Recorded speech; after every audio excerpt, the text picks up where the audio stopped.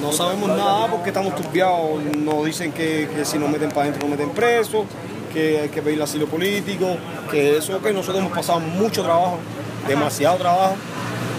Y, y queremos algo, que nos den alguna opinión, porque es muy duro lo, lo que uno pasa. La travesía. La gente pierde la vida y es muy duro que alguien escuche este mensaje y que nos ayude, no sé, que nosotros no queremos ir para Cuba. Nosotros no queremos nada, nosotros no queremos Cuba, nosotros no queremos Cuba, nosotros en Cuba no nos atienden, en Cuba no queremos Cuba. ¿Qué dejaste en Cuba? Todo, todo bendito, todo, no quiero nada, no quiero ir a Cuba a hacer nada.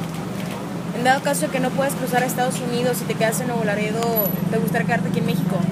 Me han tratado me lo más bien, pero el futuro de nosotros es Estados Unidos. Tremenda atención, todo bien, todo nos tratan bien, pero no queremos. Queremos ir a los Estados Unidos. Ustedes salieron con la esperanza, con, con, Con la decreto. esperanza, con la esperanza de ir a los Estados Unidos.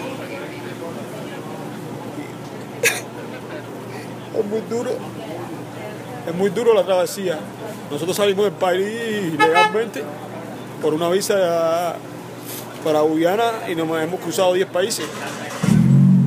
Y he visto gente que han perdido la vida. Es muy duro que alguien vea esto Estabas a un paso de lograr tu objetivo, tu, de todo y le pido a Dios y a, y a todas las personas del mundo que oigan esto y a todos los emigrantes del mundo que nos ayuden, que nos den un sí, un apoyo en esta situación que estamos pasando de la vida. Es lo que pido nada más. No sabemos nada, estamos turbiados, todo el mundo está desesperado, no sabemos si entregarnos, no sabemos nada, no, no, no, nada confiamos, no sabemos nada. Queremos respuestas de que no sabemos nada